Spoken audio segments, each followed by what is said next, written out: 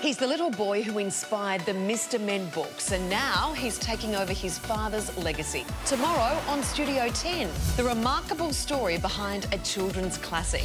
Plus, Dr. Karl reveals the fascinating secrets about our bodies. Studio 10, see what all the fuss is about, 8.30 tomorrow.